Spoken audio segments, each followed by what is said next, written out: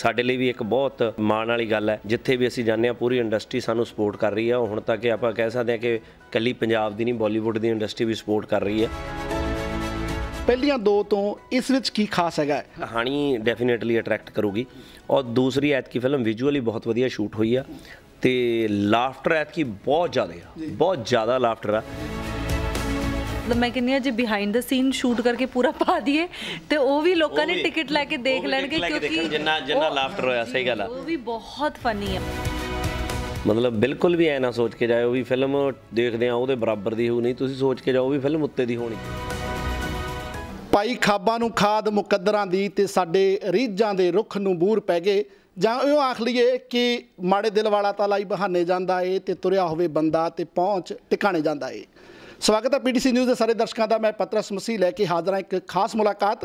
ਔਰ ਜਿਹੜੀਆਂ ਦੋ ਸ਼ਖਸੀਅਤਾਂ ਜਾਂ ਦੋ ਸਿਤਾਰੇ ਅੱਜ ਸਾਡੇ ਨਾਲ ਇਸ ਵਕਤ ਮੌਜੂਦ ਹੈਗੇ ਨੇ, ਉਹਨਾਂ ਨੂੰ ਵੇਖ ਕੇ ਤੁਹਾਨੂੰ ਵੈਸੇ ਅੰਦਾਜ਼ਾ ਤਾਂ ਲੱਗ ਹੀ ਜਾਣਾ ਕਿ ਅਸੀਂ ਉਹਨਾਂ ਦੀ ਆਉਣ ਵਾਲੀ ਫਿਲਮ ਜਿਹੜੀ ਕਿ ਮੱਚ ਵੇਟਡ ਹੈਗੀ ਹੈ ਕੈਰੀ ਔਨ ਜੱਟਾ 3 ਉਹਦੇ ਬਾਰੇ ਵਿੱਚ ਅਸੀਂ ਗੱਲਾਂ ਬਾਤਾਂ ਕਰਾਂਗੇ। ਸਵਾਗਤ ਕਰ ਲੈਂਦੇ ਹਾਂ ਸਭ ਤੋਂ ਪਹਿਲਾਂ ਗਿੱਪੀ ਜੀ। ਔਰ ਸੋਨਮ ਜੀ, ਸਭ ਤੋਂ ਪਹਿਲਾਂ ਬਹੁਤ-ਬਹੁਤ ਸਵਾਗਤ ਹੈ ਪੀਟੀਸੀ ਨਿਊਜ਼ ਤੇ ਔਰ ਮੈਲਬੰਦੀ ਧਰਤੀ ਤੇ। ਥੈਂਕ ਯੂ ਜੀ ਮਿਹਰਬਾਨੀ ਜੀ ਸਾਰਿਆਂ ਨੂੰ ਪਿਆਰ ਭਰੀ ਸਤਿ ਸ਼੍ਰੀ ਅਕਾਲ ਜੀ ਸੋਨਮ ਜੀ ਥੈਂਕ ਯੂ ਬਹੁਤ ਬਹੁਤ ਤੁਹਾਡਾ ਸਾਰਿਆਂ ਨੂੰ ਸਤਿ ਸ਼੍ਰੀ ਅਕਾਲ। ਥੈਂਕ ਯੂ ਗਿੱਪੀ ਬਾਈ ਜੀ ਮਾਇਆ ਨਗਰੀ ਮੁੰਬਈ ਚ ਟ੍ਰੇਲਰ ਲਾਂਚ ਔਰ ਉਸ ਤੋਂ ਬਾਅਦ ਮੈਲਬਨ ਦੀ ਧਰਤੀ ਦੀ ਪ੍ਰਮੋਸ਼ਨ ਚੱਲ ਰਹੀ ਹੈ। ਕਿਵੇਂ ਦਾ ਹੁੰਗਾਰਾ ਮਿਲ ਰਿਹਾ? ਕਿਵੇਂ ਕਿਵੇਂ ਦੀਆਂ ਵਾਈਬਸ ਆ ਰਹੀਆਂ ਨੇ ਪਹਿਲਾਂ? ਬਹੁਤ ਵਧੀਆ ਹੰਗਾਰਾ ਮਿਲ ਰਿਹਾ ਜੀ ਕਿਉਂਕਿ ਜਦੋਂ ਦੇ ਲੱਗੇ ਹੋਏ ਆ ਪ੍ਰੋਮੋਸ਼ਨ ਕਰਨ ਸੋ ਕੱਲੇ ਸਾਨੂੰ ਨਹੀਂ ਪੂਰੀ ਪੰਜਾਬੀ ਇੰਡਸਟਰੀ ਨੂੰ ਇਸ ਫਿਲਮ ਤੋਂ ਬਹੁਤ ਜ਼ਿਆਦਾ ਉਮੀਦਾਂ ਨੇ। ਤੇ ਸਾਡੇ ਲਈ ਵੀ ਇੱਕ ਬਹੁਤ ਮਤਲਬ ਮਾਣ ਵਾਲੀ ਗੱਲ ਹੈ ਜਿੱਥੇ ਵੀ ਅਸੀਂ ਜਾਂਦੇ ਹਾਂ ਪੂਰੀ ਇੰਡਸਟਰੀ ਸਾਨੂੰ ਸਪੋਰਟ ਕਰ ਰਹੀ ਹੈ ਹੁਣ ਤੱਕ ਆਪਾਂ ਕਹਿ ਸਕਦੇ ਹਾਂ ਕਿ ਕੱਲੀ ਪੰਜਾਬ ਦੀ ਨਹੀਂ ਬਾਲੀਵੁੱਡ ਦੀ ਇੰਡਸਟਰੀ ਵੀ ਸਪੋਰਟ ਕਰ ਰਹੀ ਹੈ ਸੋ ਜਿੱਥੇ ਜਿੱਥੇ ਗਏ ਆ ਇੰਨਾ ਪਿਆਰ ਸਤਿਕਾਰ ਮਿਲਿਆ ਸਿਡਨੀ ਗਏ ਹੁਣ ਮੈਲਬਨ ਆਏ ਆ। ਸੋ ਹਰ ਬੰਦੇ ਨੇ ਬੜਾ ਕਿਹਾ ਸਾਨੂੰ ਕਿ ਯਾਰ ਬਹੁਤ ਵੇਟ ਕਰ ਰਹੇ ਹਾਂ ਫਿਲਮ ਦੀ ਕਦੋਂ ਆਊ ਕਦੋਂ ਆਊ। ਤਾਂ ਸ਼ੁਰੂ ਚ ਕਹਿਤਾ ਮੱਚ ਵੇਟਡ ਕਿਉਂਕਿ ਪਹਿਲੀ ਫਿਲਮ ਜਦੋਂ 2012 ਚ ਆਈ ਸੀ ਤਾਂ 6 ਸਾਲ ਲੱਗ ਗਏ 18 ਤੱਕ ਲਿਆਉਂਦੇ ਲਿਆਉਂਦੇ। ਫਿਰ ਮੈਂ 18 ਦੇ ਵਿੱਚ ਸਾਰਿਆਂ ਨੂੰ ਇਹ ਕਿਹਾ ਸੀ ਮੈਂ ਕਿਹਾ ਹੁਣ ਤਾਂ 2-2 ਸਾਲ ਬਾਅਦ ਆਇਆ ਕਰੂਗੀ। ਫਿਰ 5 ਲੱਗ ਗਏ ਸਾਲ ਹਨਾ? ਕਿਉਂਕਿ ਬੜੀਆਂ ਜਦੋਂ ਕੋਈ ਪਾਰਟ ਨੈਕਸਟ ਪਾਰਟ ਬਣਾਉਨੇ ਆ ਬੜੀਆਂ ਜ਼ਿੰਮੇਵਾਰੀਆਂ ਪੈਂਦੀਆਂ ਟੀਮ ਵੱਡੀ ਆ ਸਾਰੇ ਸਲਾਹਾਂ ਕਰਦੇ ਆ ਕੱਲਾ ਕੱਲਾ ਆਰਟਿਸਟ ਆਪਦਾ ਫੀਡਬੈਕ ਦਿੰਦਾ ਯਾਰ ਇਦਾਂ ਕਰੀਏ ਐਤਕੀ ਇਦਾਂ ਕਰੀਏ। ਸੋ ਐਤਕੀ ਕਹਾਣੀ ਬਿਲਕੁਲ ਡਿਫਰੈਂਟ ਹੈ ਜੀ। ਬਟ ਮਾਹੌਲ ਉਹੀ ਆ ਢਿੱਲੋਂ ਨੇ ਕਾਲਾ ਕੋਟ ਐਵੇਂ ਨਹੀਂ ਪਾਇਆ ਗੰਦੀ ਔਲਾਦ ਸਾਰੀਆਂ ਚੀਜ਼ਾਂ ਉਹ ਨੇ ਬਟ ਸਟੋਰੀ ਤੁਹਾਨੂੰ ਬਿਲਕੁਲ ਫਰੈਸ਼ ਮਿਲੂ। ਤੇ ਔਰ ਮੈਨੂੰ ਐ ਲੱਗਦਾ ਪਰਸਨਲੀ ਕਿ ਇਸ ਫਿਲਮ ਦੇ ਵਿੱਚ ਪਹਿਲੀਆਂ ਦੋਨਾਂ ਨਾਲੋਂ ਜ਼ਿਆਦਾ ਲਾਫਟਰ ਹੈ। ਮੈਂ ਮੈਂ ਇਸੇ ਗੱਲ ਤੇ ਆਉਣਾ ਸੀਗਾ ਕਿ ਪਹਿਲੀਆਂ ਦੋ ਤੋਂ ਇਸ ਵਿੱਚ ਕੀ ਖਾਸ ਹੈਗਾ ਹੈ? ਕਿਹੜੀ ਚੀਜ਼ ਲੋਕਾਂ ਨੂੰ ਅਟਰੈਕਟ ਕਰੇਗੀ? ਸਿਨੇਮਾ ਵੱਲ ਭੱਜਣ ਨੂੰ। ਕਹਾਣੀ ਡੈਫੀਨਿਟਲੀ ਅਟਰੈਕਟ ਕਰੂਗੀ। ਔਰ ਦੂਸਰੀ ਐਤਕੀ ਫਿਲਮ ਵਿਜ਼ੂਅਲੀ ਬਹੁਤ ਵਧੀਆ ਸ਼ੂਟ ਹੋਈ ਆ। ਤੇ ਲਾਫਟਰ ਐਤਕੀ ਬਹੁਤ ਜ਼ਿਆਦਾ ਆ। ਬਹੁਤ ਜ਼ਿਆਦਾ ਲਾਫਟਰ ਆ। ਮਤਲਬ ਇੱਕ ਲਾਈਨ ਵੀ ਇਦਾਂ ਦੀ ਨਹੀਂ ਹੈਗੀ ਵੀ ਜਿਹਦੇ 'ਚ ਹਾਸਾ ਨਹੀਂ ਹੈਗਾ। ਸੋ ਜਦੋਂ ਅਸੀਂ ਸ਼ੂਟ ਵੀ ਕਰਦੇ ਇਸ ਤਾਂ ਆਪ ਲੋਟਪੋਟ ਹੋ ਜਾਂਦੇ ਸੀਗੇ ਵੀ ਯਾਰ ਆ ਕੀ ਹੋ ਗਿਆ ਹਨਾ? ਤੇ ਬਹੁਤ ਖਲਾਰੇ ਵਾਲੀ ਫਿਲਮ ਆ। ਤੇ ਤੁਹਾਨੂੰ ਵਧੀਆ ਲੱਗੂਗੀ ਸਾਰਿਆਂ ਨੂੰ। ਸੋਨਮ ਜੀ ਤੁਹਾਡਾ ਤਜਰਬਾ ਕਿਵੇਂ ਦਾ ਰਿਹਾ? ਕਿਉਂਕਿ ਕੈਰੀ ਔਨ ਜੱਟਾ 2 ਨੂੰ ਜਦੋਂ ਯਾਦ ਕਰਦੇ ਆ ਉਸ ਤੋਂ ਬਾਅਦ ਫਿਰ 3 ਦੇ ਵਿੱਚ ਜਦੋਂ ਐਂਟਰੀ ਹੋਈ ਹੈ ਤੁਹਾਨੂੰ ਕੀ ਕੁਝ ਚੇਂਜ ਲੱਗਿਆ ਜਾਂ ਤੁਹਾਡਾ ਤਜਰਬਾ ਕਿਹੋ ਜਿਹਾ ਰਿਹਾ? ਮੈਂ 2 ਦਾ ਵੀ ਹਿੱਸਾ ਸੀ ਤੇ 3 ਦਾ ਵੀ ਆ ਤੇ ਬਹੁਤ ਹੀ ਇੰਜੋਏ ਕੀਤਾ ਮੈਂ। ਵਾਕਈ 2 ਚ ਵੀ ਇੰਨਾ ਹੀ ਹੱਸੀ ਸ਼ੂਟਿੰਗ ਦੇ ਦੌਰਾਨ। ਤੇ ਮੈਂ ਹੁਣ ਵੀ ਬਿਹਾਈਂਡ ਦ ਸੀਨ ਦੀ ਫੁਟੇਜ ਦੇਖਦੀ ਹਾਂ ਜਿੱਥੇ ਆਪਾਂ ਸਟੇਜ ਦੇ ਉੱਤੇ ਖੜੇ ਹਾਂ। ਮੈਂ ਹੀ ਇਕੱਲੀ ਹੱਸੀ ਜਾਂਦੀ ਹਾਂ ਉਹ ਚ ਵੀ ਥੋੜੀਆਂ ਥੋੜੀਆਂ ਥੋੜੀਆਂ ਕਲਿੱਪਸ ਤਾਂ ਸਮੇਂ-ਸਮੇਂ ਤੇ ਤੁਸੀਂ ਰਿਲੀਜ਼ ਕਰਦੇ ਰਹੇ ਹੋ ਜਦੋਂ ਸ਼ਰਾਰਤਾਂ ਸੀ ਬਿੰਨੂ ਭਾਜੀ ਹੋਰਾਂ ਦੀਆਂ ਇਹਨਾਂ ਦੇ ਨਾਲ। ਪਰ ਬਿਹਾਈਂਡ ਦਾ ਸੀਨ ਲੱਗਦਾ ਕਿ ਪੂਰਾ ਫਨ ਕੀਤਾ ਤੁਸੀਂ ਹੈ ਨਾ ਸਰ ਬਹੁਤ ਜ਼ਿਆਦਾ। ਮਤਲਬ ਮੈਂ ਕਹਿੰਦੀ ਹਾਂ ਜੇ ਬਿਹਾਈਂਡ ਦ ਸੀਨ ਸ਼ੂਟ ਕਰਕੇ ਪੂਰਾ ਪਾ ਦਈਏ ਤੇ ਉਹ ਵੀ ਲੋਕਾਂ ਨੇ ਟਿਕਟ ਲੈ ਕੇ ਦੇਖ ਲੈਣਗੇ ਕਿਉਂਕਿ ਜਿੰਨਾ ਜਿੰਨਾ ਲਾਫਟਰ ਹੋਇਆ ਸਹੀ ਗੱਲ ਆ। ਉਹ ਵੀ ਬਹੁਤ ਫਨੀ ਆ। ਔਰ ਜਿੱਦਾਂ ਦੇ ਕਲਾਕਾਰ ਫਿਲਮ ਦੇ ਵਿੱਚ ਆ ਨਾ ਆਈ ਮੀਨ ਮੈਂ ਕੀ ਕਵਾਂ ਉਹਨਾਂ ਬਾਰੇ ਪੱਲਾ ਜੀ ਬੀਨੂ ਜੀ ਗੁਰਪ੍ਰੀਤ ਕੁੱਗੀ ਜੀ ਕਰਮ ਜੀ ਉਹ ਰੀਅਲ ਲਾਈਫ 'ਚ ਵੀ ਨਾ ਸਾਰੇ ਜਾਣੇ ਬਹੁਤ ਹੀ ਫਨੀ ਆ। ਤੇ ਮੈਂ ਤਾਂ ਮੈਨੂੰ ਵਾਕਈ ਇਹ ਲੱਗਦਾ ਕਿ ਮੇਰਾ ਸ਼ਾਇਦ 1 ਕਿਲੋ ਖੂਨ ਤਾਂ ਵੱਧ ਗਿਆ ਹੋਣਾ ਸ਼ੂਟਿੰਗ ਤੋਂ ਬਾਅਦ। ਇੱਕ- ਚੀਜ਼ ਜਿਹੜੀ ਖਾਸ ਹਾਸੇ ਤਾਂ ਸਾਰਿਆਂ ਨੇ ਵੇਖਿਆ ਪਰ ਇੱਕ ਕਲਿੱਪ ਪਿਛਲੇ ਦਿਨਾਂ 'ਚ ਦੇਖ ਰਹੇ ਸਾਂ ਉਹ ਕਵਿਤਾ ਜੀ ਜਦੋਂ ਲਾਸਟ ਦਿਨ ਸੀਗਾ ਉਹਨਾਂ ਦਾ ਕਵਿਤਾ ਕੌਸ਼ਿਕ ਉਹ ਇਮੋਸ਼ਨਲ ਹੋ ਕੇ ਰੋਂਦੇ ਨਜ਼ਰ ਆਏ ਸੀ ਨਾ। ਉਹ ਉਹ ਬੜਾ ਇੱਕ ਟੱਚਿੰਗ ਸੀਨ ਸੀਗਾ ਨਾ ਦੇਖੋ ਨਾ। ਉਹ ਬਹੁਤ ਟੱਚਿੰਗ ਸੀਗਾ ਜੀ ਐਕਚੁਅਲੀ ਕਵਿਤਾ ਜੀ ਨੇ ਕੀਤੀਆਂ ਤਾਂ ਪਹਿਲਾਂ ਵੀ ਨੇ ਪੰਜਾਬੀ ਫਿਲਮਾਂ ਬਟ ਉਹ ਬਹੁਤ ਇਮੋਸ਼ਨਲ ਹੋਏ। ਉਹ ਕਹਿੰਦੇ ਵੀ ਮੈਂ ਪਹਿਲੀ ਵਾਰੀ ਇਸ ਤਰ੍ਹਾਂ ਟੀਮ ਦੇ ਵਿੱਚ ਕੰਮ ਕੀਤਾ ਜਿੱਥੇ ਮੈਨੂੰ ਬਹੁਤ ਫੈਮਿਲੀ ਵਾਲਾ ਮਾਹੌਲ ਲੱਗਿਆ। ਸੋ ਮੈਨੂੰ ਯਾਦ ਆ ਲੰਡਨ ਜਿੱਦਣ ਉਹਨਾਂ ਦਾ ਲਾਸਟ ਸੀਨ ਸੀਗਾ। ਤੇ ਸੋਨਮ ਜੀ ਸੱਚੀ ਹੰਝੂ ਆ ਗਏ ਹਾਂ ਸੋਨਮ ਜੀ ਹੈ ਨਹੀਂ ਸੀਗੇ ਉਸ ਦਿਨ। ਤੇ ਅੱਛਾ ਕੀ ਹੋਇਆ? ਉਹਨਾਂ ਨਾਲ ਇੱਕ ਵਿਚਾਰਿਆਂ ਨਾਲ ਉਦਣ ਹੋਰ ਵੀ ਹਾਦਸਾ ਵਾਪਰਿਆ। ਬੜਾ ਅਜੀਬ ਮੈਨੂੰ ਯਾਦ ਆ। ਉਹ ਪੂਰਾ ਰੋ ਰੂ ਪਿਆ ਇਮੋਸ਼ਨਲ ਹੋ ਗਿਆ ਸਪੀਚਾਂ ਸਪੂਚਾਂ ਹੋ ਗਿਆ ਜਪੇ ਜਪੇ ਪਾਇਆ ਤੇ ਸਮੀਪ ਭਾਜੀ ਕਿਉਂ ਰੋ ਰਹੀ ਹੈ ਕੀ ਕੀ ਹੋਇਆ ਹਾਂ ਅਸੀਂ ਕਿਹਾ ਭਾਜੀ ਵੀ ਲਾਸਟ ਸੀਨ ਉਹ ਯਾਰ ਇਹਦਾ ਦੋ ਸੀਨ ਪਏ ਨੇ ਯਾਰ ਪਹਿਲਾਂ ਹੀ ਰੋਪੀ ਹਨਾ ਚ ਰਿਹਾ ਨਾ ਉਹ ਕਵਿਤਾ ਜੀ ਤੁਹਾਡੇ ਦੋ ਸੀਨ ਪਏ ਨੇ ਹਲੇ ਇਹ ਉੱਤੇ ਇੰਨਾ ਹਾਸਾ ਪਿਆ ਆਲਤੂ ਵਾਲਤੂ ਨਾ ਉਹਨੂੰ ਲੱਗਿਆ ਵੀ ਮੇਰਾ ਕੰਮ ਹੀ ਮੁੱਕ ਗਿਆ ਨਾ ਕਹਿੰਦੇ ਪਏ ਆ ਵੀ ਹਲੇ ਨਾ ਰੋ ਭਾਈ ਉਹ ਫਿਰ ਵਿੱਚ ਵਿਚਾਲੇ ਚ ਕਨਫਿਊਜ਼ਨ ਜੀ ਹੋ ਗਈ ਵਿਚਾਰੀ ਨੂੰ ਦੁਬਾਰਾ ਨਹੀਂ ਰੋਏ ਫਿਰ? ਰੋਏ ਰੋਏ ਰੋਏ। ਦੁਬਾਰਾ ਵੀ ਰੋਏ ਨਹੀਂ ਦੁਬਾਰਾ ਤਾਂ ਨਹੀਂ ਰੋਏਗੀ ਬਟ ਉਦੋਂ ਹੀ ਉਹਨੇ ਰੋ ਰੂ ਕੇ ਪੂਰਾ ਸਾਹਮਣੇ ਕਰ ਲਿਆ। ਬਟ ਉਹ ਵੀ ਉਹ ਵੀ ਜਿਹੜਾ ਅਸੀਂ ਕਿ ਮੂਮੈਂਟ ਸੀਗਾ ਕਾਫੀ। ਬਿਲਕੁਲ ਬਿਲਕੁਲ ਮੂਮੈਂਟ ਸੀਗਾ ਜੀ ਔਰ ਜੈਨੂਅਲੀ ਤੁਹਾਨੂੰ ਮੈਂ ਦੱਸਾਂ ਹਰ ਬੰਦਾ ਜਦੋਂ ਭੱਲਾ ਸਾਹਿਬ ਵੀ ਬਾਹਰ ਰੈਪ ਅਪ ਹੋਇਆ ਸੀ ਉਹਨਾਂ ਲਈ ਵੀ ਬਹੁਤ ਦਾ ਕਲੈਪਿੰਗ ਕੀਤੀਆਂ ਤੇ ਉਹਨਾਂ ਨੂੰ ਵੀ ਬਹੁਤ ਲੱਗਿਆ। ਸੋ ਹਰ ਬੰਦੇ ਨੇ ਕਿਉਂਕਿ ਐਕਚੁਅਲੀ ਕੀ ਹੈ ਭਾਜੀ ਜਦੋਂ ਕੋਈ ਫਿਲਮ ਸ਼ੂਟ ਕਰਦੇ ਆ ਨਾ ਲੱਗਦਾ 40 45 ਦਿਨ ਅਸੀਂ ਇਕੱਠੇ ਸੀਗੇ ਉੱਥੇ 45 ਡੇਜ਼ ਪੰਜਾਬ ਵੀ ਸ਼ੂਟ ਕੀਤਾ ਵਾ ਥੋੜਾ ਜਿਹਾ ਹਨਾ? ਤੇ ਇੰਨੇ ਦਿਨ ਤੁਸੀਂ ਇਕੱਠੇ ਰਹਿਣਾ, ਇੱਕ ਹੀ ਹੋਟਲ ਚੋਂ। ਐਂ ਇਕੱਠਿਆਂ ਦੇ ਕਮਰੇ ਕੁਮਰੇ ਹੁੰਦੇ ਸੀਗੇ, ਲੰਘੇ ਜਾਂਦੇ ਆ ਬੀਨੂ ਬਾਈ ਵਾਲਾ ਕਮਰਾ ਆ ਗਿਆ, ਵਿੱਚ ਉੱਥੇ ਹਾ ਹਾ ਹੀ ਹੋ ਰਿਹਾ, ਅੱਗੇ ਉਹਦਾ ਆ ਗਿਆ। ਸੋਨਮ ਦਾ ਸਭ ਤੋਂ ਐਂਡ ਦੇ ਉੱਤੇ ਰੱਖਿਆ ਹੁੰਦਾ ਸੀਗਾ ਵੀ ਇਹਨੂੰ ਸਾਰਿਆਂ ਦੀਆਂ ਡਿਸਟਰਬੈਂਸਾਂ ਨਾ ਸੁਣਨ। ਸੋ ਇਹ ਉਹ ਐਦਾਂ ਰੌਣਕ ਮੇਲਾ ਲੱਗਿਆ ਰਹਿੰਦਾ ਜੀ ਤੇ ਫੈਮਿਲੀ ਵਾਲਾ ਮਾਹੌਲ ਹੋ ਜਾਂਦਾ ਜੀ ਜੋ ਤੁਸੀਂ ਇੰਨੇ ਟਾਈਮ ਬਾਅਦ ਜਾਣਦੇ ਹੋ ਹੋ, ਤਾਂ ਲੋਕਾਂ ਨੂੰ ਥੋੜਾ ਹੁੰਦਾ ਵਾ ਕਿ ਯਾਰ ਇੰਨੀ ਰੌਣਕ ਮੇਲਾ ਲੱਗਿਆ ਹੋਇਆ ਸੀ। ਯਾਦ ਕਰਦੇ ਆ ਸਾਰੇ ਮੂਮੈਂਟ ਸੋ ਇਹੀ ਤਾਂ ਇੱਕ ਜਰਨੀ ਹੈ। ਸੋ ਮੈਨੂੰ ਲੱਗਦਾ ਕਿ ਸਾਰਿਆਂ ਨੇ ਇੰਜੋਏ ਕੀਤੀ ਜੀ। ਅੱਛਾ ਜਦੋਂ ਪਿੱਛੇ ਨਜ਼ਰ ਮਾਰਦੇ ਆ 2012 ਚ ਜਦੋਂ ਪਹਿਲੀ ਕੈਰੀ ਔਨ ਜੱਟਾ ਬਣੀ ਸੀ। ਬੜੇ ਰਿਕਾਰਡ ਉਹਨੇ ਵੀ ਬਣਾਇਆ ਚਾਰ ਰੀਮੇਕ ਬਣੀਆਂ ਉਹਦੀਆਂ। ਮੈਂ ਵੇਖ ਰਿਹਾ ਸਾਂ ਕਿ ਤੇਲਗੂ ਚ ਬੰਗਾਲੀ ਚ ਉੜੀਆ ਦੇ ਵਿੱਚ ਉਹਦੇ ਰੀਮੇਕ ਬਣੇ ਹੋਏ ਆ ਪਹਿਲੀ ਕੈਰੀ ਔਨ ਜੱਟਾ ਦੇ। ਉਸ ਤੋਂ ਬਾਅਦ ਦੂਸਰੀ ਨੇ ਜਿਹੜਾ ਵਰਲਡ ਵਾਈਡ ਰਿਕਾਰਡ ਤੋੜਿਆ ਸਭ ਤੋਂ ਵੱਧ ਕਮਾਈ ਕਰਨ ਵਾਲੀ ਪੰਜਾਬੀ ਫਿਲਮ 5 ਸਾਲ ਹੋ ਗਏ ਹਾਲੇ ਤੱਕ ਉਹ ਵੀ ਨਹੀਂ ਟੁੱਟਾ ਕਿਸੇ ਕੋਲੋਂ। ਤੇ ਮੈਂ ਤਾਂ ਇਹ ਗੱਲਾਂ ਕਰ ਰਿਹਾ ਕਿ ਜਦੋਂ ਇੰਨੀਆਂ ਵੱਡੀਆਂ ਫਿਲਮਾਂ ਪਹਿਲਾਂ ਬਣ ਚੁੱਕੀਆਂ ਫਿਰ ਜਿਹੜੇ ਦਰਸ਼ਕ ਹੁੰਦੇ ਆ ਉਹਨਾਂ ਦੀਆਂ ਆਸਾਂ ਉਮੀਦਾਂ ਵੀ ਵੱਧ ਜਾਂਦੀਆਂ ਤੇ ਤੁਹਾਡੀਆਂ ਜ਼ਿੰਮੇਵਾਰੀਆਂ ਵੀ ਵੱਧ ਜਾਂਦੀਆਂ। ਅਸੀਂ ਤਾਂ ਮੈਂ ਤਾਂ ਫੁੱਲ ਕਹਿਣਾ ਵੀ ਫੁੱਲ ਉਮੀਦਾਂ ਲੈ ਕੇ ਜਾਇਓ। 100% ਉਮੀਦਾਂ ਲੈ ਕੇ ਜਾਇਓ। ਮਤਲਬ ਬਿਲਕੁਲ ਵੀ ਐ ਨਾ ਸੋਚ ਕੇ ਜਾਇਓ ਵੀ ਫਿਲਮ ਦੇਖਦੇ ਆ ਉਹਦੇ ਬਰਾਬਰ ਦੀ ਹੋਊ ਨਹੀਂ ਤੁਸੀਂ ਸੋਚ ਕੇ ਜਾਓ ਵੀ ਫਿਲਮ ਉੱਤੇ ਦੀ ਹੋਣੀ ਚਾਹੀਦੀ ਆ। ਉਸ ਹਿਸਾਬ ਨਾਲ ਜਾਇਓ ਔਰ ਉਸ ਹਿਸਾਬ ਨਾਲ ਫਿਲਮ ਹੈ। ਅਸੀਂ ਵੀ ਇਹ ਸੋਚ ਕੇ ਬਣਾਈ ਆ ਕਿ ਇਹਦੇ ਉੱਤੇ ਦੀ ਆਇਤ ਕੀ ਆਵਾਂਗੇ ਸੋ ਸਾਰਿਆਂ ਦਾ ਬਹੁਤ ਜ਼ੋਰ ਲੱਗਿਆ ਔਰ ਫਿਲਮ ਘੈਂਟ ਬਣੀ ਆ ਔਰ ਤੁਹਾਨੂੰ ਘੈਂਟ ਹੀ ਲੱਗੂ। ਪਰ ਜਦੋਂ ਉਹ ਚੀਜ਼ਾਂ ਵੇਖਦੇ ਆ ਕਿ ਪਹਿਲੀ ਪੰਜਾਬੀ ਫਿਲਮ ਜਿਹੜੀਆਂ ਚਾਰ ਚਾਰ ਰੀਮੇਕ ਬਣ ਗਈਆਂ ਉਹ ਤਾਂ ਬਹੁਤ ਮਾਣ ਵਾਲੀ ਗੱਲ ਹੋ ਜਾਂਦੀ ਫਿਰ। ਬਿਲਕੁਲ ਹੋ ਜਾਂਦੀ ਹੈ ਜੀ ਡੈਫੀਨਿਟਲੀ ਕਿਉਂਕਿ ਉਹਦਾ ਰੀਜ਼ਨ ਕੀ ਹੈ ਕਿ ਜਦੋਂ ਫਸਟ ਟਾਈਮ ਕੰਟੈਂਟ ਆਉਂਦਾ ਨਾ ਜੀ ਕੋਈ ਤਾਂ ਉਹ ਜਿਹੜੇ ਕਰੈਕਟਰ ਸੀਗੇ ਉਹ ਫਰੈਸ਼ ਕਰੈਕਟਰ ਨੇ ਢਿੱਲੋਂ ਹਨਾ ਕਾਲਾ ਕੋਟ ਐਵੇਂ ਨਹੀਂ ਪਾਇਆ ਗੰਦੀ ਵਾਲਾ ਇਹ ਉਹ ਚੀਜ਼ਾਂ ਉਹ ਤੁਸੀਂ ਦੇਖੀਆਂ ਨਹੀਂ ਸੀ ਪਹਿਲਾਂ।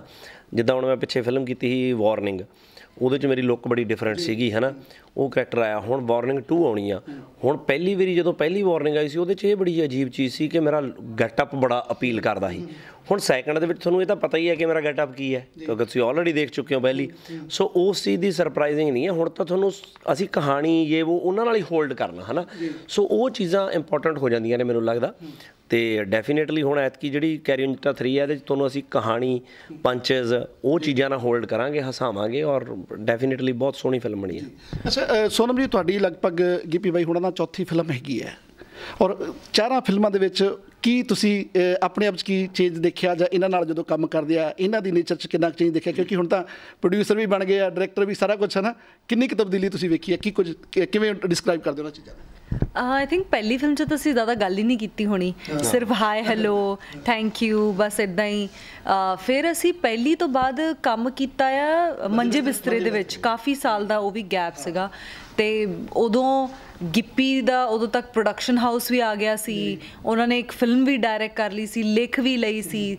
ਤਾਂ ਮਤਲਬ ਮੈਂ ਇੱਕ ਬਹੁਤ ਪ੍ਰੋਫੈਸ਼ਨਲੀ ਉਹਨਾਂ ਦੀ ਬਹੁਤ ਜ਼ਿਆਦਾ ਗਰੋਥ ਜਿਹੜੀ ਹੈ ਦੇਖੀ। ਹੁਣ 뮤직 ਲੇਬਲ ਵੀ ਆ ਗਿਆ ਉਹ ਰਾਈਟਰ ਵੀ ਬਣ ਚੁੱਕਿਆ। ਮਤਲਬ ਆਈ ਡੋਨਟ ਥਿੰਕ ਸੋ ਕੋਈ ਇੱਕ ਐਸਾ ਏਰੀਆ ਹੈ ਜਿਹੜਾ ਕਿ ਉਹਨਾਂ ਨੇ ਮਤਲਬ ਜਿੱਚ ਹਲੇ ਕੰਮ ਬਾਕੀ ਆ। ਸੋ ਮੈਨੂੰ ਇਹ ਲੱਗਦਾ ਕਿ ਆਈ ਐਮ ਸ਼ੋਰ ਗਿੱਪੀ ਵੀ ਖੁਸ਼ ਹੁੰਦੇ ਹੋਣੇ ਆ ਦੇਖ ਕੇ ਮੇਰੀ ਜਰਨੀ ਮੈਂ ਵੀ ਉਹਨਾਂ ਦੀ ਜਰਨੀ ਔਰ ਗਰੋਥ ਖਾਸ ਕਰ ਦੇਖ ਕੇ ਨਾ ਖੁਸ਼ ਵੀ ਹੁੰਨੀ ਔਰ ਮੈਂ ਇਨਸਪਾਇਰ ਵੀ ਹੁੰਨੀ ਔਰ ਮੈਂ ਕਈ ਵਾਰੀ ਪੁੱਛਦੀ ਵੀ ਆ ਕਿ ਤੁਸੀਂ ਇੰਨਾ ਸਾਰਾ ਕੁਝ ਇੰਨੇ ਵਧੀਆ ਤਰੀਕੇ ਨਾਲ ਕਿਵੇਂ ਕਰ ਲੈਂਦੇ ਹੋ? ਮੈਂ ਤਾਂ ਦੇਖ ਰਿਹਾ ਸੀ ਬਾਈ ਜੀ ਕਿ ਜਦੋਂ ਮੈਂ ਤੁਹਾਡਾ ਰੈਕੋਰਡ ਦੇਖ ਰਿਹਾ ਸੀਗਾ ਮੈਂ ਕਿਹਾ ਬਾਈ ਨੂੰ ਆਖੂੰਗਾ ਤਾਂ ਫਿਲਮਾਂ ਦੀ ਮਸ਼ੀਨ ਹੀ ਹੈ। ਧੜਾ ਧੜ ਸੁੱਟੀ ਆਉਂਦੇ ਹਾਲੇ ਹੋਰ ਕਿੰਨੀਆਂ ਪਈਆਂ ਪਿੱਛੇ ਹੋਣ ਵਾਲੀਆਂ ਨਹੀਂ ਐਕਚੁਅਲੀ ਮੈਂ ਹਮੇਸ਼ਾ ਕਹਿਣਾ ਜੀ ਦੇਖੋ ਫਿਲਮਾਂ ਨਾ ਜ਼ਿਆਦਾ ਆਉਣੀਆਂ ਘੱਟ ਆਉਣੀਆਂ ਇਹ ਬਿਲਕੁਲ ਪ੍ਰੋਬਲਮ ਨਹੀਂ ਹੈਗੀ। ਪ੍ਰੋਬਲਮ ਸਿਰਫ ਉਦੋਂ ਪੈਂਦੀ ਹੈ ਜਦੋਂ ਇੱਕੇ ਤਰ੍ਹਾਂ ਦੀਆਂ ਫਿਲਮਾਂ ਆਉਂਦੀਆਂ ਨੇ ਸਾਡੇ ਕੋਲੇ ਕੈਰੀ ਔਨ ਜੱਟਾ ਵਾਲੀ ਸੋਨਮਾ, ਇਹ ਆਮ ਫਿਲਮਾਂ ਦੇ ਵਿੱਚ ਇਦਾਂ ਦੀ ਨਹੀਂ ਹੈਗੀ, ਜਿੱਦਾਂ ਦੀ ਕੈਰੀ ਔਨ ਜੱਟਾ ਚ ਆ। ਸੋ ਉਵੇਂ ਹੁਣ ਜਿਹੜਾ ਮੇਰਾ ਕੈਰੈਕਟਰ ਜਿਹੜੀ ਕੈਰੀ ਔਨ ਜੱਟਾ ਫਿਲਮ ਹੈ, ਹੋਰ ਵੀ ਹੁਣ ਮੰਜੇ ਬਿਸਤਰੇ ਵੀ ਕਾਮੇਡੀ ਫਿਲਮ ਸੀ ਬਟ ਮੰਜੇ ਬਿਸਤਰੇ ਤੇ ਤੁਸੀਂ ਕੈਰੀ ਔਨ ਜੱਟਾ ਨੂੰ ਆਪਸ ਵਿੱਚ ਦੇਖੋ ਨਾ, ਜ਼ਮੀਨ ਅਸਮਾਨ ਦਾ ਫ਼ਰਕ ਹੈ ਉਹ ਫਿਲਮ ਕਲਚਰ ਨਾਲ ਰਿਲੇਟਡ ਸੀ ਮੰਜੇ ਬਿਸਤਰੇ। ਉਹਦੇ ਚ ਅਸੀਂ ਹਸਾਇਆ ਸੀ। ਇਹ ਪੰਚਸ ਦੇ ਉੱਤੇ ਕਨਫਿਊਜ਼ਨ ਤੇ ਹਸਾਉਨੇ ਆ ਅਸੀਂ। ਅਲੱਗ-ਅਲੱਗ ਜ਼ੋਨ ਬਣ ਜਾਂਦੇ ਨੇ। ਸੋ ਉਸ ਤਰੀਕੇ ਦੀਆਂ ਮੇਰੀ ਕੋਸ਼ਿਸ਼ ਹੁੰਦੀ ਹੈ ਕਿ ਹਰ ਚੀਜ਼ ਡਿਫਰੈਂਟ ਡਿਫਰੈਂਟ ਕੀਤੀ ਜਾਵੇ ਹਨਾ? ਤਾਂ ਹੀ ਮੈਂ ਕਦੇ ਵਾਰਨਿੰਗ ਕਰਦਾ ਕਦੇ ਅਰਦਾਸ ਕਰਦਾ ਕਦੇ ਮਾਂ ਫਿਲਮ ਕਰਦਾ ਮਾਂ। ਉਹ ਰੀਜ਼ਨ ਇਹ ਨੇ ਕਿ ਫਿਲਮਾਂ ਦਾ ਜ਼ੋਨ ਅਲੱਗ-ਅਲੱਗ ਹੋਵੇ ਗਿੱਪੀ ਅਲੱਗ-ਅਲੱਗ ਦਿਖੇ। ਹਾਂ ਉਹਨਾਂ ਉਹਨਾਂ ਫਿਲਮਾਂ ਨੇ ਇਹ ਸਾਬਤ ਕੀ ਵੀ ਕੀਤਾ ਕਿ ਤੁਸੀਂ ਸਿਰਫ ਲੋਕਾਂ ਨੂੰ ਹਸਾਉਂਦੇ ਨਹੀਂ ਹੋ ਬਲਕਿ ਜਿਹੜੇ ਸੰਜੀਦਾ ਮਸਲੇ ਹੈਗੇ ਆ ਸਮਾਜ ਦੇ ਉਹ ਵੀ ਤੁਸੀਂ ਬਖੂਬੀ ਨਿਭਾਏ ਨੇ ਉਹਨਾਂ 'ਚ। 100% ਭਾਜੀ ਕੋਈ ਵੀ ਫਿਲਮ ਆ ਕੋਈ ਵੀ ਚੀਜ਼ ਆ, ਜਿਹੜੇ ਮਤਲਬ ਚੀਜ਼ ਲਈ ਬਣਾਈ ਗਈ ਆ, ਜੇ ਉਹ ਆਪਣਾ ਪੂਰਾ ਕਰ ਦਿੰਦੀ ਆ ਅਰਦਾਸ ਜਦੋਂ ਬਣਾਉਨੇ ਆ, ਉਹ ਤੁਹਾਨੂੰ ਕਈ ਚੀਜ਼ਾਂ ਸਿਖਾ ਕੇ ਜਾਂਦੀ ਹੈ ਕਿ ਜ਼ਿੰਦਗੀ ਨੂੰ ਆਪਾਂ ਕਿਵੇਂ ਜਿਉਣਾ ਪੋਜ਼ਿਟਿਵ ਕਰਦੀ ਹੈ ਉਹ ਉਸ ਲਈ ਆ। ਇਹ ਫਿਲਮ ਬਣਾਈ ਜਾਂਦੀ ਹੈ ਕਿ ਤੁਸੀਂ ਪੰਜਾਬੀਆਂ ਦੀ ਨੇਚਰ 'ਚ ਆ, ਪੰਜਾਬੀਆਂ ਦੇ ਖੂਨ 'ਚ ਆ, ਹੱਸਣਾ એનર્ਜੀ ਹੈਪੀਨੈਸ ਹਨਾ? ਆਪਾਂ ਤਾਂ ਉਹ ਵੀ ਕਿਸੇ ਦੀ ਵੀ, ਕਿਸੇ ਦੀ ਵੀ ਖੁਸ਼ੀ ਦੇ ਵਿੱਚ ਆਪਾਂ ਹੱਸਦੇ ਆ, ਹਨਾ? ਵੀ ਆਜਾ ਫਲਾਣਿਆਂ ਦੇ ਅੱਜ ਵਿਆਹ ਆ, ਆਪਾਂ ਖਾਰੂ ਪਾਵਾਂਗੇ, ਆਪਾਂ ਭੰਗੜਾ ਪਾਉਣਾ ਅੱਜ, ਹਨਾ? ਆਪਾਂ ਨੂੰ ਉਹੀ ਚਾਹ ਚੜਿਆ ਪਿਆ ਹੁੰਦਾ ਵਾ, ਹਨਾ? ਸੋ ਉਸ ਕਰਕੇ ਇਹ ਫਿਲਮ ਉਸ ਪੈਟਰਨ ਦੀ ਆ ਵੀ ਤੁਸੀਂ ਸਾਰੇ ਜਣੇ ਸਿਨੇਮਾ 'ਚ ਜਾਓ ਬਹੁਤ એનર્ਜੀ ਘੱਟੋ ਘੱਟ ਤੁਹਾਨੂੰ 15-20 ਦਿਨ ਬੂਸਟ ਅਪ ਕਰਕੇ ਰੱਖੂਗੀ ਹਸਾ ਆ ਕੇ ਪਰ ਤੁਹਾਡੇ ਤੁਹਾਡੇ ਰੂਹ ਦੀ ਖਰਾਕ ਕਿਸ ਤਰ੍ਹਾਂ ਦੀਆਂ ਕਹਾਣੀਆਂ ਕਿਸ ਤਰ੍ਹਾਂ ਦਾ ਕੰਮ ਤੁਹਾਡੇ ਰੂਹ ਦੀ ਖਰਾਕ ਨਹੀਂ ਭਾਜੀ ਮੇਰੇ ਰੂਹ ਦੀ ਖਰਾਕ ਹੈਗਾ ਸਿਨੇਮਾ। ਮੈਂ ਹਰ ਤਰ੍ਹਾਂ ਦਾ ਸਿਨੇਮਾ ਦੇਖਦਾ ਮੈਂ ਹਮੇਸ਼ਾ ਹੀ ਇਹ ਗੱਲ ਕਹਿਣਾ ਮੈਂ ਕਿ ਜੌਨਰ ਜਿਹੜੇ ਕਹਿੰਦੇ ਆ ਕਿ ਫਿਲਮਾਂ ਦੇ ਜੌਨਰ ਨੇ ਕੋਈ ਜੌਨਰ ਨਹੀਂ ਹੈ। ਫਿਲਮਾਂ ਸਿਰਫ ਦੋ ਤਰੀਕੇ ਦੀਆਂ ਨੇ ਇੱਕ ਚੰਗੀਆਂ ਫਿਲਮਾਂ ਇੱਕ ਬੁਰੀਆਂ ਫਿਲਮਾਂ। ਚੰਗੀ ਫਿਲਮ ਕੋਈ ਵੀ ਚੰਗੀ ਫਿਲਮ ਹੈ ਇਹਨੇ ਆਪਣੀ ਜ਼ਿੰਦਗੀ ਦੇ ਵਿੱਚ ਕਿੰਨੀਆਂ ਕਾਮੇਡੀ ਫਿਲਮਾਂ ਕੀਤੀਆਂ ਹੋਣੀਆਂ ਮੈਂ ਵੀ ਕੀਤੀਆਂ। ਉਹਨਾਂ ਦੇ ਵਿੱਚੋਂ ਕੈਰੀ ਔਨ ਜੱਟਾ ਵੀ ਇੱਕ ਹੈ ਮੰਜੇ ਬਿਸਤਰੇ ਵੀ ਇੱਕ ਹੈ। ਤੇ ਉਹ ਜਿਹੜੀਆਂ ਫਿਲਮਾਂ ਸੁਪਰ ਹਿੱਟ ਨੇ ਜਿਹੜੀਆਂ ਫਿਲਮਾਂ ਵਧੀਆ ਬਣ ਗਈਆਂ ਲੋਕਾਂ ਨੇ ਐਪਰੀਸ਼ੀਏਟ ਕੀਤੀਆਂ ਉਹ ਰੂਹ ਦੀ ਖੁਰਾਕ ਨੇ। ਠੀਕ ਹੈ ਅੱਜ ਕੈਰੀ ਔਨ ਜੱਟਾ ਤੁਸੀਂ 12 ਕਿੰਨੇ ਬ- 12 ਚ ਆਈ ਸੀ। ਉਹ ਹੁਣ ਵੀ ਚੱਲਦੀ ਹੋਵੇ ਆਪਾਂ ਦੇਖ ਲੈਂਦੇ ਆ ਟੀਵੀ ਤੇ ਜਿੱਥੋਂ ਮਰਜ਼ੀ ਚੱਲਦੀ ਹੋਵੇ ਆਪਾਂ ਉਵੇਂ ਲਾ ਲੈਂਦੇ ਆ ਵੀ ਚੱਲਣ ਦੇ। ਲੋਕੀ ਮੰਜੇ ਬਿਸਤਰੇ ਲਾ ਲੈਂਦੇ ਆ ਅਰਦਾਸ ਲਾ ਲੈਂਦੇ ਆ। ਹੁਣ ਅਰਦਾਸ ਸੰਜੀਦਾ ਕਿਸ ਤਰ੍ਹਾਂ ਦੀ ਸੋਬਰ ਫਿਲਮ ਆ ਸੰਜੀਦਾ? ਕੈਰੀ ਔਨ ਜੱਟਾ ਕਿਸ ਤਰ੍ਹਾਂ ਦੀ ਫਿਲਮ ਆ? ਕੋਈ ਤਾਲਮੇਲ ਹੀ ਨਹੀਂਗਾ ਬਟ ਕੀ ਹੈ ਚੰਗੀ ਫਿਲਮ ਚੰਗੀ ਫਿਲਮ ਪਰ ਮੈਂ ਦੇਖ ਰਿਹਾ ਸੀ ਇਸ ਫਿਲਮ ਦੇ ਵਿੱਚ ਤੁਸੀਂ ਆਪਣੇ ਫੈਨਸ ਨਾਲ ਇੱਕ ਧੱਕਾ ਕਰ ਗਏ ਜਿਆਤੀ ਕਰ ਗਏ ਪਹਿਲੀ ਚ 9 ਗੀਤ ਤੁਹਾਡੇ ਦੂਜੀ ਚ 6 ਇਹ ਚ ਸਿਰਫ 3 ਰਹਿ ਗਏ। ਨਹੀਂ ਨਹੀਂ ਨਹੀਂ ਇਹ ਇਹ 'ਚ- ਇਹ ਚ ਵੀ 6 ਨੇ। ਇਹ 'ਚ 6 ਗਾਣੇ ਨੇ। ਹਾਲੇ ਸਿਰਫ 3 ਗਾਣੇ ਆਏ ਨੇ। ਹੁਣ ਦੋ ਕੁ ਦਿਨਾਂ ਦੇ ਵਿੱਚ ਇੱਕ ਨਵਾਂ ਗਾਣਾ ਆਉਣੇ ਵਾਲਾ ਵਾ। ਸ਼ਾਇਦ ਕਿਤੇ ਝਟਕਾ ਤਾਂ ਨਹੀਂ ਦੋ ਕੁ ਦਿਨਾਂ 'ਚ ਇੱਕ ਨਵਾਂ ਗਾਣਾ ਆਉਣੇ ਵਾਲਾ। ਫਿਰ ਇੱਕ ਰਿਲੀਜ਼ ਤੋਂ ਪਹਿਲਾਂ ਇੱਕ ਗਾਣਾ ਹੋਰ ਆ ਜਾਊਗਾ। ਹਾਂ। ਦੋ ਪੰਜ ਗਾਣੇ ਤਾਂ ਰਿਲੀਜ਼ ਤੋਂ ਪਹਿਲਾਂ ਹੀ ਆ ਜਾਣਗੇ। ਤੇ ਆਸਟ੍ਰੇਲੀਆ ਦੀ ਆਡੀਅנס ਤੋਂ ਕੀ ਆਸ ਉਮੀਦ ਲੈ ਕੇ ਤੁਸੀਂ ਆਏ? ਕਿਉਂਕਿ ਪਹਿਲੀਆਂ ਨੂੰ ਵੀ ਬਹੁਤ ਪਿਆਰ ਦਿੱਤਾ ਆਸਟ੍ਰੇਲੀਆ ਦੀ ਆਡੀਅנס ਨੇ। ਕੀ ਨੋ ਡਾਊਟ ਜੀ ਪ- ਹਮੇਸ਼ਾ ਹੀ ਕੈਰੀ ਔਨ ਜੱਟਾਂ ਨੂੰ ਪਿਆਰ ਦਿੱਤਾ ਆਸਟ੍ਰੇਲੀਆ ਨੇ ਬਟ ਐਤਕੀ ਇੱਥੇ ਆਉਣ ਦਾ ਰੀਜ਼ਨ ਇਹ ਸੀ ਵੀ ਕਈ ਵਾਰੀ ਕਈ ਬੰਦਿਆਂ ਨੂੰ ਨਹੀਂ ਪਤਾ ਲੱਗਦਾ ਜਾਂ ਕੰਮਾਂ ਕਾਰਾਂ ਦੇ ਵਿੱਚ ਇੰਨੇ ਬਿਜ਼ੀ ਹੁੰਦੇ ਨੇ ਸੋ ਅਸੀਂ ਉਹਨਾਂ ਨੂੰ ਅਪਡੇਟ ਦਈਏ। ਦੱਸੀਏ ਵੀ ਸਾਡੀ ਫਿਲਮ ਆ ਰਹੀ ਹੈ 29 ਜੂਨ ਨੂੰ ਤੁਸੀਂ ਜਾਇਓ ਇਹ ਫਿਲਮ ਕਿੱਦਾਂ ਦੀ ਹੋਊਗੀ? ਤੁਸੀਂ ਫੈਮਲੀਆਂ ਨਾਲ ਜਾਓ ਬੱਚਿਆਂ ਨਾਲ ਜਾਓ ਬਜ਼ੁਰਗਾਂ ਨਾਲ ਜਾਓ ਸਭ ਨੂੰ ਲੈ ਕੇ ਜਾਓ ਕਿਉਂਕਿ ਪਰਿਵਾਰਕ ਫਿਲਮ ਹੈ ਸੋ ਇਹ ਅਪਡੇਟ ਦੇਣਾ ਬਹੁਤ ਜ਼ਰੂਰੀ ਹੁੰਦਾ। ਸੋ ਮੈਨੂੰ ਲੱਗਦਾ ਕਿ ਆਮ ਤੌਰ ਤੇ ਇਹ ਕੰਟਰੀ ਇਗਨੋਰ ਹੋ ਜਾਂਦਾ ਵਾ ਆਸਟ੍ਰੇਲੀਆ ਘੱਟ ਆਇਆ ਜਾਂਦਾ ਵਾ ਬਟ ਸਪੈਸ਼ਲੀ ਅਸੀਂ ਇਸੇ ਕਰਕੇ ਆਏ ਹਾਂ ਜੀ। ਤੁਸੀਂ ਸੋਨਮ ਜੀ ਕੁਝ ਆਸਟ੍ਰੇਲੀਆ ਦੀ ਆਡੀਅנס ਨੂੰ ਜਾਂਦੇ ਜਾਂਦੇ ਪਹਿਲਾਂ ਤਾਂ ਮੈਂ ਆਸਟ੍ਰੇਲੀਆ ਦੀ ਆਡੀਅנס ਦਾ ਦਿਲੋਂ ਧੰਨਵਾਦ ਕਰਨਾ ਚਾਹੂੰਗੀ ਕਿਉਂਕਿ ਤੁਸੀਂ ਪੰਜਾਬੀ ਸਿਨੇਮਾ ਨੂੰ ਬਹੁਤ ਜ਼ਿਆਦਾ ਸਪੋਰਟ ਕਰਦੇ ਹੋ ਤੇ ਉਹਦੇ ਲਈ ਪਹਿਲਾਂ ਤਾਂ ਬਹੁਤ-ਬਹੁਤ ਧੰਨਵਾਦ ਤੇ ਬਸ ਹੁਣ 29 ਜੂਨ ਨੂੰ ਵੀ ਸਿਨੇਮਾ ਘਰਾਂ ਦੇ ਵਿੱਚ ਜਾ ਕੇ ਕੈਰੀ ਔਨ ਜੱਟਾ 3 ਜ਼ਰੂਰ ਦੇਖਿਓ ਤੇ ਸਾਨੂੰ ਦੱਸਿਓ ਕਿ ਤੁਹਾਨੂੰ ਫਿਲਮ ਕਿੱਦਾਂ ਦੀ ਲੱਗੀ। ਚੌਥਾ ਵੀ ਆਊਗਾ ਫਿਰ ਕੈਰੀਅਨ 4 ਵੀ ਆਊਗਾ ਕੈਰੀ ਔਨ 40 ਵੀ ਆਉਣਗੇ ਜੀ। ਹਾਂ ਹਾਂ। ਬਿਲਕੁਲ ਬਣਾਵਾਂਗੇ ਜੀ ਸਾਡਾ ਪੂਰਾ ਜੋਰ ਆ ਕੇ ਅਸੀਂ ਬਣਾਵਾਂਗੇ। ਸੋ ਪੱਲਾ ਸਾਹਿਬ ਮੈਨੂੰ ਇੱਕ ਦਿਨ ਕਹਿੰਦੇ ਹੱਸ ਕੇ ਜੇ ਕਹਿੰਦੇ ਕਹਿੰਦੇ ਜਦੋਂ ਚ ਕੈਰੀ ਔਨ 10 ਬਣੂਗੀ, ਕਹਿੰਦੇ ਮੈਨੂੰ ਲੱਗਦਾ ਉਦੋਂ ਤੇਰੀ ਜਗ੍ਹਾ ਦੇ ਉੱਤੇ ਛਿੰਦਾ ਹੀਰੋ ਹੋਊਗਾ। ਮੈਂ ਕਿਹਾ ਭਾਜੀ, ਮੈਂ ਤਾਂ ਫਿਰ ਵੀ ਫਿਲਮ ਚ ਹੋਊਂਗਾ, ਮੈਂ ਤੁਹਾਡੇ ਵਾਲਾ ਰੋਲ ਕਰ ਲੂੰਗਾ ਨਿਕਲੋਗੇ ਤਾਂ ਉਤਲੇ ਬਾਹਰ ਨੂੰ ਨਿਕਲਣਗੇ ਪਹਿਲਾਂ। ਨਾ ਮੈਂ ਕਿਹਾ ਜੀ, ਤੁਸੀਂ ਜਾਓਗੇ ਬਾਹਰ ਦਾ। ਕਹਿੰਦੇ, ਨਹੀਂ ਨਹੀਂ, ਤੂੰ ਹੀ ਕਰ ਯਾਰ, ਸਾਰੀਆਂ ਮੈਂ ਹੀ ਕਰ ਰਹੀ ਯਾਰ ਇਧਰ ਵਾਲਾ।